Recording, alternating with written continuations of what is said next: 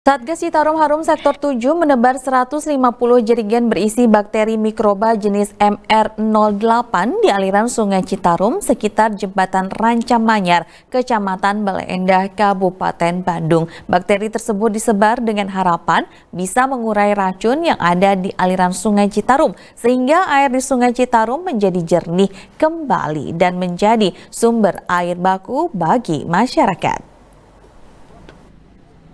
Bertempat di aliran Sungai Citarum sekitar jembatan Rancamanyar, Kecamatan Bale Endah, Kabupaten Bandung, Satgas Citarum Harum Sektor 7 menebar sebanyak 150 jerigen berisi bakteri mikroba jenis MR08 dengan masing-masing jerigen berkapasitas 30 liter.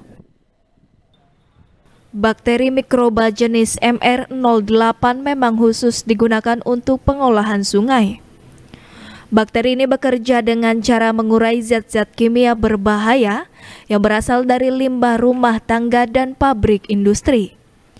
Sehingga warna hitam pekat pada air sungai Citarum karena terkontaminasi zat-zat kimia berbahaya hilang.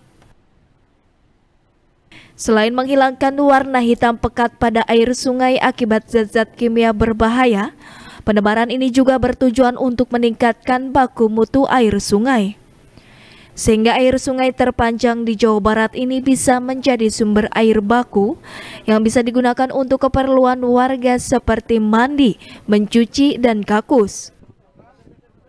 Dan sektor 7 Citarum Harum Kolonel Infanteri Purwadi berharap dengan adanya penebaran bakteri mikroba jenis MR08 ini bisa membuat air sungai kembali jernih sehingga ekosistem sungai seperti ikan bisa hidup kembali. Kurang lebih enam hari lagi kita akan melaksanakan kegiatan baksos di mana kondisi air sekarang masih hitam.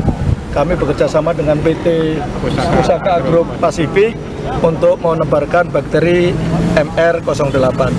Untuk fungsinya sendiri ini bakteri uh, satu untuk mengurai uh, limbah yang ada di air sehingga bisa paling tidak mendekati jernih.